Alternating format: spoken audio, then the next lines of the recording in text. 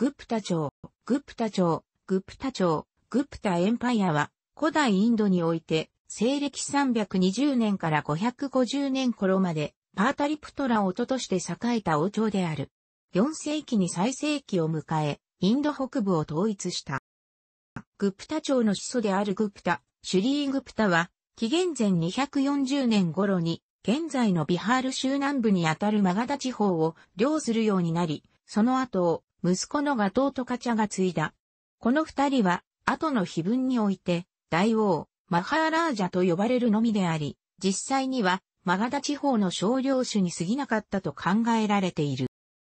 グプタ朝が実質的に建国されるのは、チャンドラグプタ一世、イ320年から335年頃の時代である。チャンドラグプタ一世は、ビハール州北部に強い勢力を持っていた、リッチャビ族の王女、クマーラデイと結婚することでリッチャビと強固な婚姻同盟を結び、さらにその力でガンジス川中流域へと進出。パータリプトラをととし、この地域の覇権を握ってマハーラージャーディラージャ、王の中の王を称するようになった。後に、グプターサでは、319年、または320年を起源とするグプタ歴が使用されるが、起源とされたこの年は、チャンドラグプタ一世の即位年であると考えられている。第2代のサムドラグプタ、イ335年頃から376年頃は、各地に軍事遠征を行い、ガンジス川上流域や中央インドの一部、ラージャスターンまで勢力を拡大し、領域内の支配体制を固めるとともに、南インドにまで政治的影響を及ぼすこととなった。この時期に掘られたイラーハーバード石柱碑文には、サムドラグプタの軍事的、政治的な功績が刻まれている。この時代に、グプタ朝を中心とする政治秩序が確立され、グプタ城は主に中心部を直接支配地とする一方、辺境においてはその地域の主張支配者として認めた。また、サムドラグプタは、アシュバメーダ、ウマシサイなどのベーダの儀式を挙行し、バラモンを統治体制の重要な一部となした。一方で、仏教など他の宗教に対しても寛容な姿勢で臨んだ。サムドラグプタ没後、発掘された貨幣や碑文、伝承や同時代の劇作などから短期間、ラーマグプタ王が継いだと推定されているが、明確なことは不明である。チャンドラグプタ2世、イ376年頃から415年頃の時、北西インドのマールアとグジャラートにあった西、クシャトラパを征服して、ついに来たインドを統一し、全盛期を迎えた。また、デカンノのオールドラセーナ2世、ルドローセニア2に娘のを嫁がせて隕石関係を結び、南インドにおける勢力を増大させた。この時期、東進の僧、北剣が訪れている。なお、この頃、ヒンドゥー教が台頭し、仏教文化は衰退を始めた。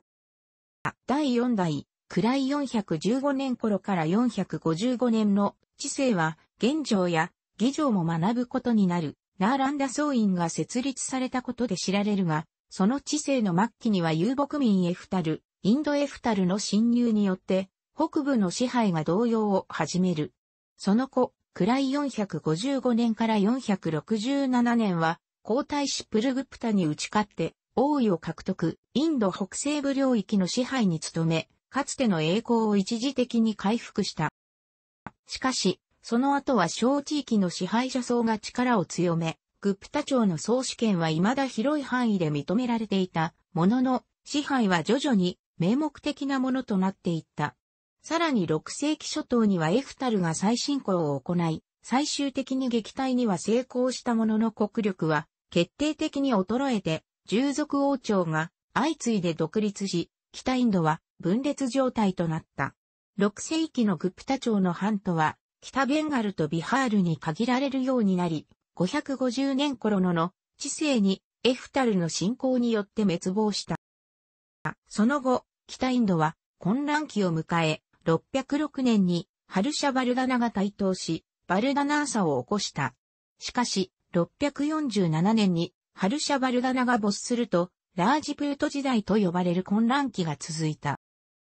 グプタ城は、軍、ブクティ、県、ビシャヤ、ユー、グラーマとつながる地方行政機構を整備し、軍権には中央から管理を派遣して官僚制度を整えた。この制度が整えられたのは、ガンジス川流域などの中央部の直轄地域に限られ、地方の有力勢力や辺境の勢力は有力者を統治者に任命して、その地方の統治を任せ、効能を受け取るといった統治スタイルが取られた。この方法で、グプタ城は速やかに勢力を拡大したものの、5世紀後半以降グプタ城の勢力が衰えを見せると、それまでの統治で力を蓄えていた地方長官や従来の地方有力者が従属王権となり、さらには総司権も認めなくなって独立していくこととなった。一方で、これらの従属王権は、自らが力を蓄える基盤となったグプタ朝の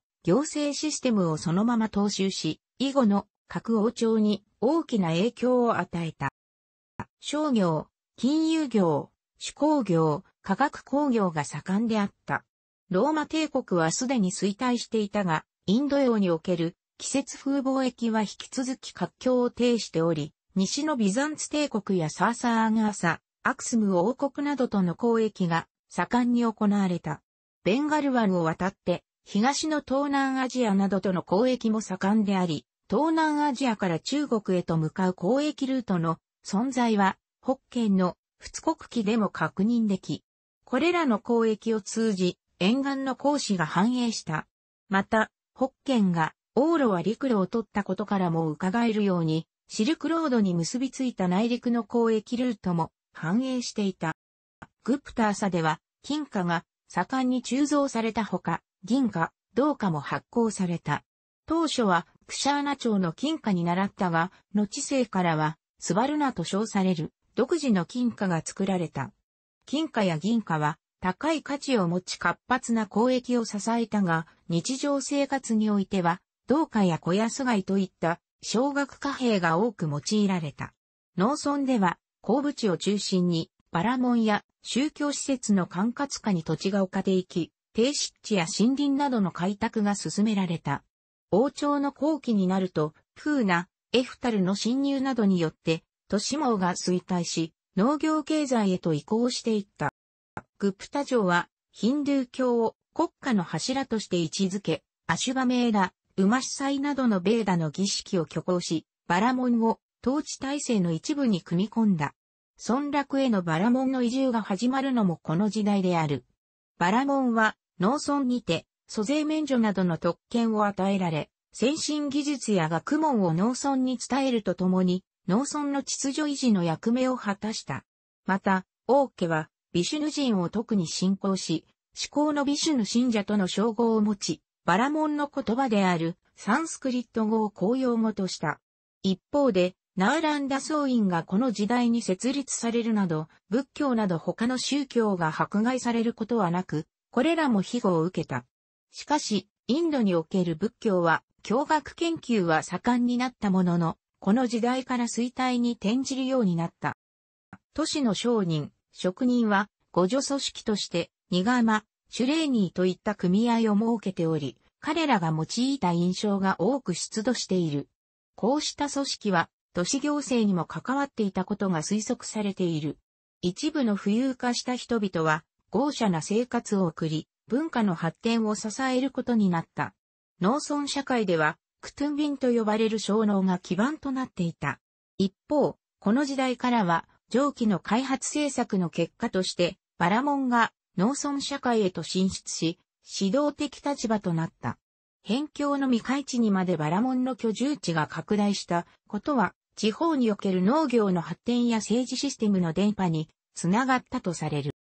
グプタ朝時代に栄えた美術は、これまでギリシア文化の影響が色濃かったガンダーラ美術に変わり、純インド的な仏教美術として知られ、グプタ美術、またはグプタ様式と呼ばれる。代表的なものとして、アジャンターセックス寺院の壁画や、グプタ仏と呼ばれる多くの仏像、特に薄い衣がぴったりと張り付いて、肉体の起伏をあらわにする表現を生んだサールナート派の仏像が知られる。これらの美術の中心は、帝国の首都のあるマガダ地方ではなく、マールワーやサールナートといった地方であった。